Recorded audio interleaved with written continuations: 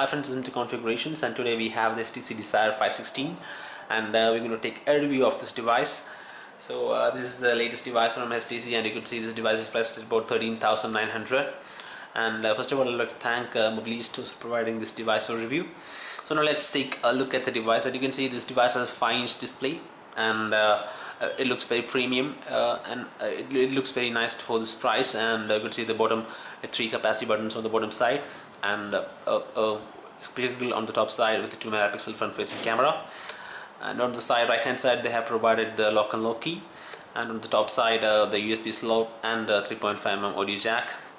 On the left hand side you could see the volume rockers. And the bottom they have not provided nothing uh, except the microphone slot here. And on the back panel uh, they have provided a very glow finish to the back panel. And you could see the camera 5 megapixel camera and uh, LED flash here. 5 megapixel camera is capable of recording at 720p uh, video resolutions uh, while the front facing camera is only capable of recording 480p so now let's let's take out this uh, let me show you uh, the the internal things uh, the memory card slot and all that things. So I'm going to take take off this back panel. And you can see this is how the back panel looks like. You could see the the battery this is 1950 milliampere battery is placed here. And you can see the 32 uh, the micro SD slot which is uh, expandable to 32 GB and you can see the SIM 1 here and SIM 2 uh, so these are the things uh, which comes with the device. Uh, the SIM 1 is only capable is the only uh, port which is capable of the CDMA connection that is 3G connection. So these are the things that I would like to take about the appearance of this device. So now let's turn on the device and see what are the internal things.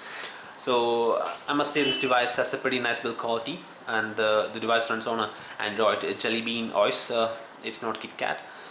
Uh, the device actually sports a Qualcomm Snapdragon 200 processor so that will give you a pretty nice performance for this device. Uh, so now let's uh, as you can see the device has turned on. Now let's uh, see the features of the device. As you can see I'm going to unlock the device. So uh, the, the first impression is that the device is very smooth. There is no not much problem in in in navigation the device is very smooth. No problem in there now let's uh, just take a look at the display quality of the device. So you could see the device has a pretty nice display quality here. The device actually sports a display resolution of 540 to 960 and it looks very great. There is no pixelizations in the display and it looks very nice. Now let's take a look at the android user interface android uh, version of the device. You can see the android version is 4.3 uh, which is the last uh, final version of uh, the Android Jelly Bean. So now let's uh, take a look at the basic features like call calling. And you can see this uh, calling is not much customized, this is the basic calling option. And let's take a look at the messaging of the device. You can see the messaging is also uh, the usual Jelly Bean interface keypad and all the things are very similar to the older version. So there's nothing customized in there also and now let's uh, go back and check out the drop down menu of the device. Now let's check out the drop down menu. And you can see the drop down menu uh, the notifications are only shown by default. And you can just get in the detailed uh, shortcuts by clicking on the shortcut button.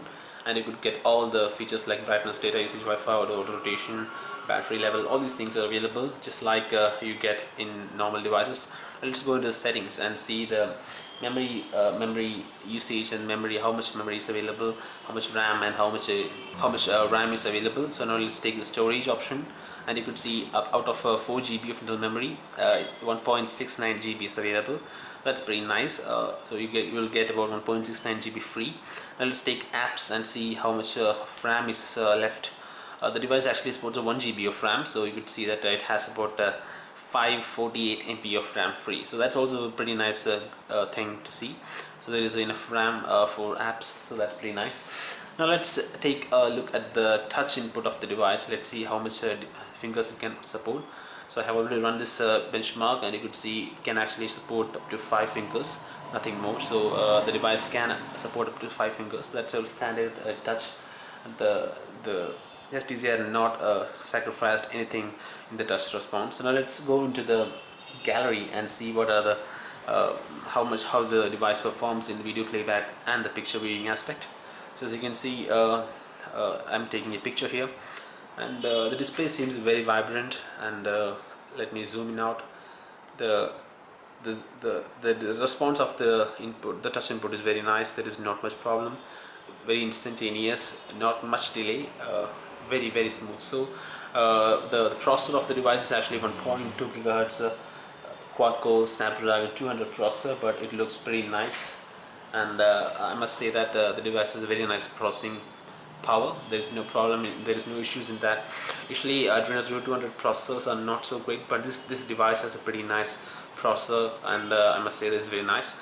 Now let's take a look at the viewing angles. You can see the viewing angles of the device is very excellent there is no no degradation in the video quality or, or the picture quality of the device. Very nicely done by HTC there is no issues uh, with the with the viewing angles uh, they've always provided display quality is very nice so uh, there's no issues with that. Now let's take a look at the video playback of this device. So now let's take uh, let's play a video here which is a I think it's a 180p video so it not it's, it's 720p video and you could see the device has playing it uh, pretty nicely. There is no problem there is no buffering.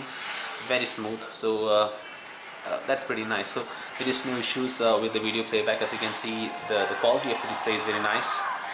Uh, there is not much problems in here so uh, I must say that the, the de device can play 720p video very smoothly so there is no issues with 720p video playback.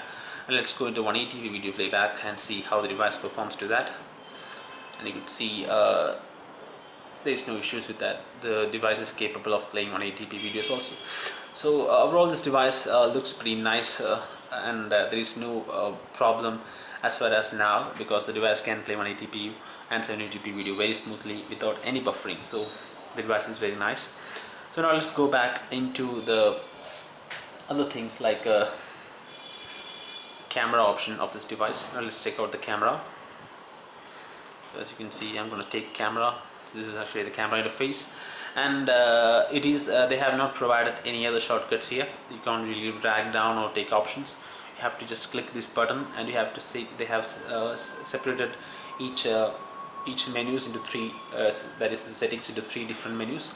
You have to take individually and adjust settings. So you can see the picture size is adjustable focus mode uh, picture quality super fine all these things are adjustable. And now you have to just click on that and just again you have to again tap on the menu and you have to take other other options here. Blur effect face detection saturation all these things are available. So uh, these are the basic uh, uh, settings. Uh, nothing special about it. Now let's take a picture of this thing here and let's take uh, snaps quick snaps and see how fast the device capture it. You can see its touch focus is also enabled. So I'm going to take a snap of this uh, cube here. Okay now they have it has taken the picture. Now let's see the how the device has captured it. Actually it doesn't have any options to take a, a picture. Uh, it's, it's it is something usually they have uh, the options to take directly from here but I think the, in this device they have not provided that option here. I would go into gallery and take the picture manually so that's been bad thing. And you could see uh, the the pictures were very focused. I must say that this is the best quality picture that I have seen in this range. Uh, it's very very focused very sharp uh, very true colors. There is not much distortion. A little bit distortion is there but but it may be due to the lighting condition here but uh, overall the, the, the camera performance video is very nice I must say. Now let's uh, take uh, some pictures and see what is the camera response delay of the of this device. So I'm going to take 10 snaps camera response test that's what we call. So now I'm gonna take 10 snaps as fast as possible within 10 seconds and uh, let's see how much uh, the device can capture. So uh, I'm gonna start with uh, okay now the device is focused. So now uh, one two three four five six seven eight nine ten. So it actually takes about uh, two seconds uh, for focusing. So uh, the, the, the, the, capturing of the device is not as fast uh, as we expect. So as you can see the device has almost captured one two three four five six uh, about six images uh, six or five images maybe for, within 10 seconds. So the response time is not so great but the quality of the focus of each image is very nice. We have seen the focusing of the device is very nice. So in that aspect this device is very very good. And now let's uh, as, as, I already told you that the device actually supports a, a 5 megapixel of back camera and it can record up to uh, 720p video so let's take a look at the video recording. So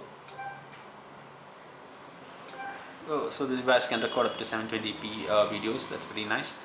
Uh, now the options has came out you can see that I think it's a bug uh, in the in this device because uh, sometimes you can see uh, the, the picture is in there but when the picture actually saves to the file you can actually see that it actually saving but when you after that you can't really take that picture. So that's I think it's a bug and it will be fixed uh, soon.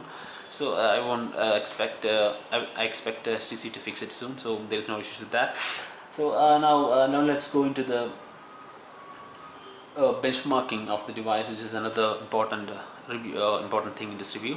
So let's take a benchmarking. Let's start with NenaMark 2 as you can see the NenaMark 2 actually I have already run this benchmark and it actually scored 55.55 now let's run it again and see uh, let's confirm it and you could see uh, the, I, I, can see it's uh, almost getting 59 56 uh, 50 uh, 56 52 it's varying uh, very much. So at, uh, when, when a high fps videos it will actually um, take a little bit effort.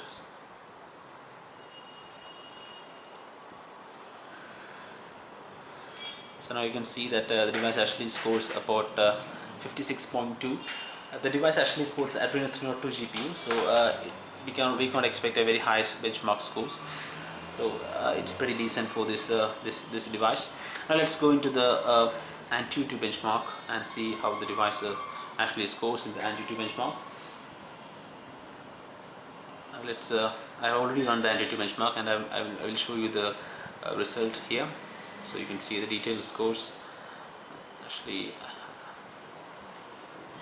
so you can see that this is actually the detailed score here. You can actually see that uh, the the, the total score is 14,872 and the RAM is 2508 uh, CPU integer is 3351 CPU float is 3355 2D graphics is uh, 911 3D graphics is 3958 database database IO is 555 so uh, pretty nice configuration pretty nice uh, score here. There's no problem with that. The device scored pretty nicely in Antutu benchmark. So uh, now we have almost covered all the aspect of this device. We have seen the, the, the display quality we have seen the the video video playback we have seen the camera interface we have seen the camera performance. And uh, overall this device uh, scores pretty nice. The, the, device is very nice build quality. And touch touch touch input of the device is 5 point touch. The RAM is 1 GB uh, all these things we have seen.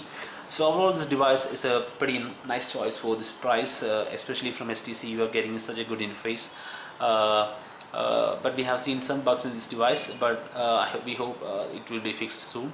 Uh, this device also equipped with the BlinkFeed feature which is another attracting point of this device. You can actually add any feeds to the BlinkFeed and you can actually uh, get the updates of uh, channels that you want. So uh, this is pretty nice device for this price a very good display.